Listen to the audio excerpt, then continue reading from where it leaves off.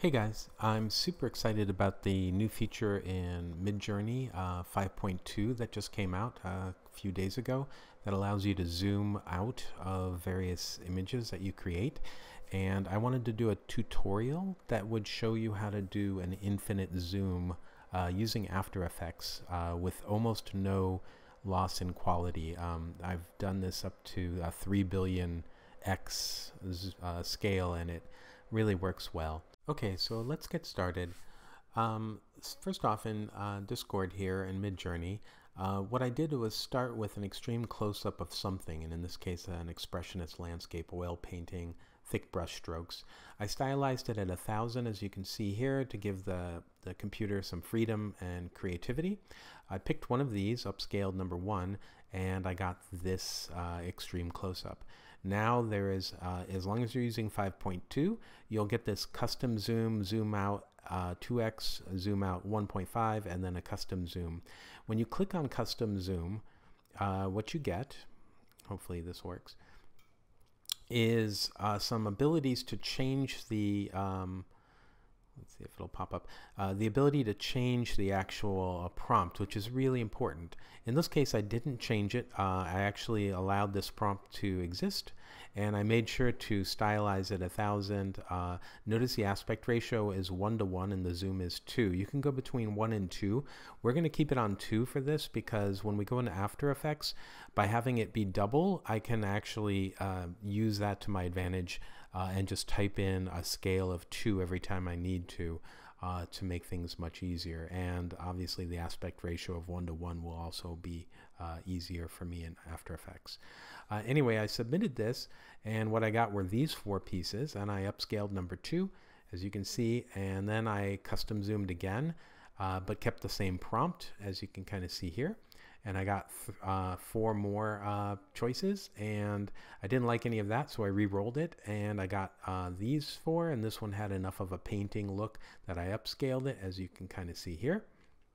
And then uh, this time I actually changed the dialogue or the prompt to a landscape oil painting uh, instead of an extreme close-up this way it would actually go out a little bit.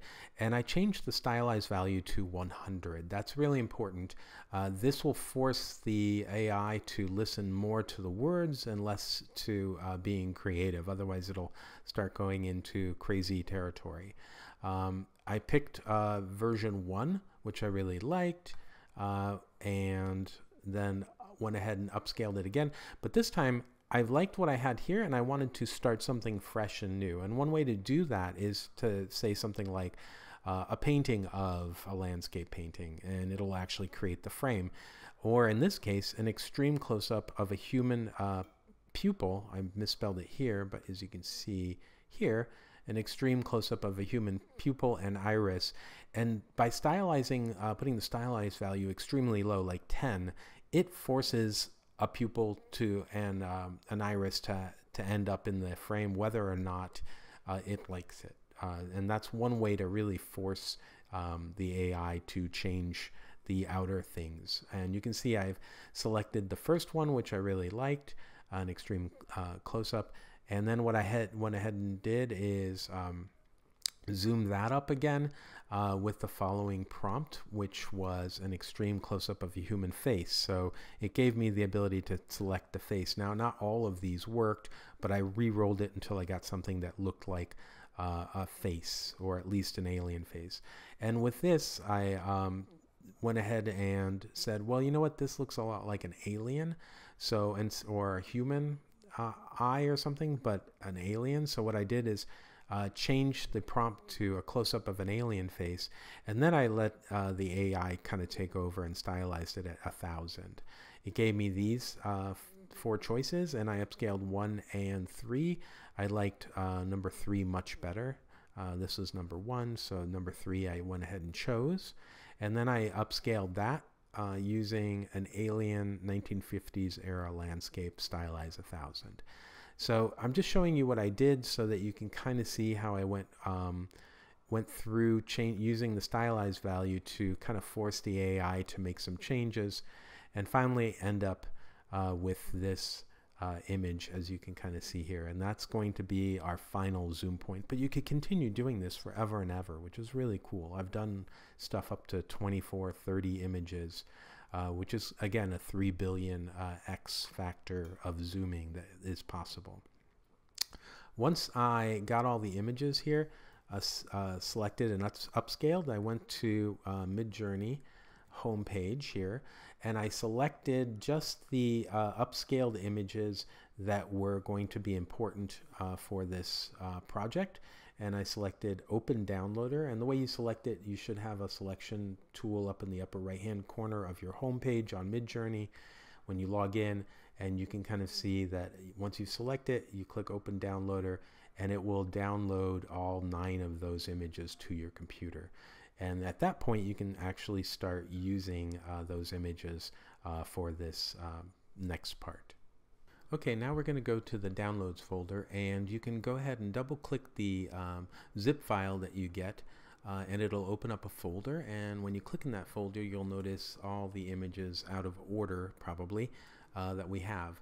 Click on the date modified and that will actually put them in order and you can kind of see that all all of them are there and there's a smooth feeling of zooming in just from uh, spacebar and then the down arrow okay we're ready to go and rename these now you could do these by hand you can rename one two three four five uh, or you could use uh, Bridge uh, to rename things. Uh, just open up uh, Adobe Bridge, which you should have.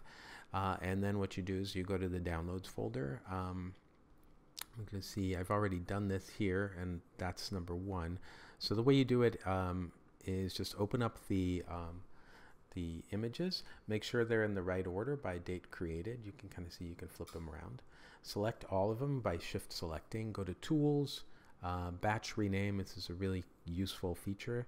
Uh, change the uh, thing to sequence number as the only choice. And uh, if you're doing this for animation, you need three digits. It's a oh, by the way, uh, I'm going to start with the number one. And, but in this case, we're using two digits, so we're not confused. And then we're going to hit rename. And that will rename all of them. And you can kind of see this is PNG one, two, three, four, five, six, seven. Okay, we are now ready to go into After Effects. And we're going to start a new project, like you can kind of see it here. I'm going to create a new composition, which I can do right here. Uh, and I'm going to let this be 1024 by 1024. That's the actual size of the um, composite of the uh, PNG that you get from Midjourney. And I'm just going to call this Zoom example. And I'm going to hit OK. Now I've got my composition and I'm going to just double click in this area and I'm going to go find uh, my folder full of images and I'm just going to make sure that they are there. They are. So I'm going to select all of those and just open all of those and bring them in here. And you can kind of see one, two, three.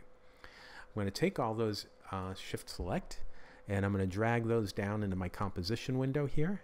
And what I'm looking to do is have the uh, the one that's um, this image right here. I want that at the bottom because we're going to be uh, scaling that up to get into the eyeball. And as you can kind of see, that's the one that's at, at the top at this point. So I kind of want to reverse the order of these. So I'm going to actually select by name here and make sure 9 is on top and 1 is on the bottom here. Just going to delete all these. Select these.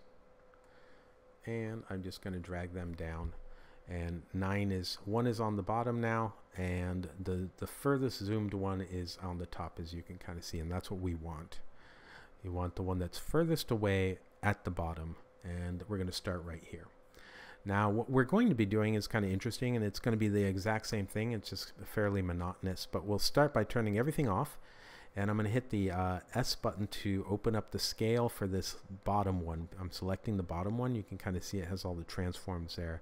But in order to open up just the scale transform, I hit the S button and that'll open this up.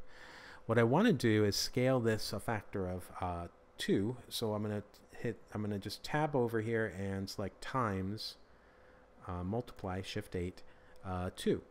And I'm going to be doing this over and over again. So it's 100, so 100 times 2. I could just put 200, but that's going to show you 200. You can kind of see that that now fills the frame 200.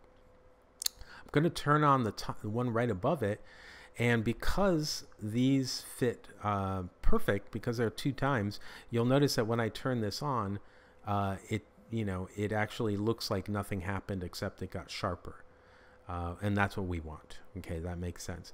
Once I uh, have this 200 uh, and I turn this on here and I make sure that it in fact is exactly the same, I'm going to pick whip this by selecting this and selecting it and then tying it to the one right below it. That means if I scale one, you can kind of see it'll scale both. You see that? Okay, undo that. Uh, now it's pick whipped, and one thing to really sell this is to put a feather on this frame. I'm going to um, modify this composition just so you can see it a little bit better. So I'm going to control click and go to composition settings. Currently it's 1024, um, but I'm going to put I'm going to lock the aspect ratio and I'm just going to change this to 2000 so you actually can see that hard, hard edge line here when we are zoomed out. Um, this way you know that if you don't put a feather here, you're going to see this little bit of a border, right? We don't want that. The way you fix a feather is you select the, the working square and you just double click this little rectangle tool and that will create a mask on the the area that you've uh, selected. I'm going to open up this mask and I'm going to make this 100 pixels of feathering and that feathers from here 50 pixels to the outside. Uh, in order for it to feather from the edge to the inside we also have to shift that mask uh, negative 100 pixels which is what I'm doing here and now if we zoom in you can see if I deselect by going away from it you'll see that there that border is no longer uh, direct. There's a nice feathering edge here, and you can see that right here. You can kind of see how that feathers. And we're going to continue this for the entire um, stack here. So we're going to start again. We're going to go down here. We're going to scale this times 2, so make it 400 now, right? And I'm just going to shift backslash to center everything so you can see it. I'm now going to turn on this next Oh, this is 400, not 800. 400. Boop. I'm now going to turn on this frame and you can kind of see that there is that edge right here. So I'm going to pick whip this to the, the layer below. I'm going to double click this rectangle, makes a mask. I'm going to open up that mask and put 100 pixels and then negative 100 pixel expansion which makes it zoom in I'm going to turn that off and on and see how good that looks. Looks pretty good. I'm going to close this up. Go here, double that, times 2. Boom. That's 800. Turn on the next frame above here that we haven't worked with. Looks good. You can kind of see it. Um, pick whip to the frame to the layer below. Double click the rectangle. Open up the mask. Add 100 pixels of feather and scooch that in negative 100 and I'm going to continue to do this uh, the whole way up not forgetting to scale anything so times 2 you can see that if you get uh, a huge number of layers it's easier just put times 2 turn this on looks good uh, pick whip to the layer below it add that mask by double clicking open up the mask 100 pixels and negative 100. And I'm going to continue this in fast forward uh, so you don't have to watch me, but that's pretty much the same process. So we're going to speed it up at this point.